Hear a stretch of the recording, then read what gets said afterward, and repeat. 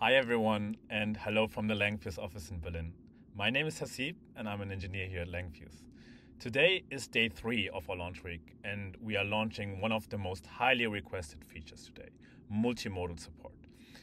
As you know, LLMs have grown more powerful in recent months. Leading models from both OpenAI and Anthropic are inherently multimodal beyond just text prompts and responses. One can now feed images and audio into a model and get voice output as a response, for example. Naturally, our Langfuse users with multimodal apps wanted native support for all modalities in their traces. In our community's GitHub discussions, multimodal support was one of the most highly upvoted features. So today we are excited to launch multimodal support. You can enrich your Langfuse traces now with images, audio, and attachments of your choice.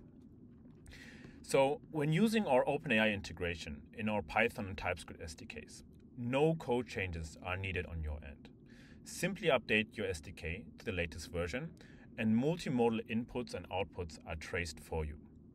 Let's take a look at a multimodal trace resulting from an OpenAI execution. Here we see a Putong, Clemens' dog, and we are asking the model to describe what they see in this picture we see the picture traced in line and um, together with the model response. Pretty exciting and impressive what the model can see, if you ask me.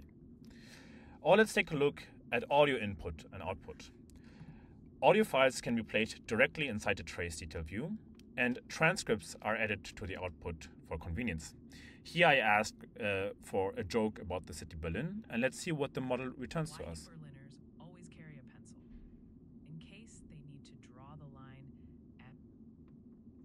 Pretty nice.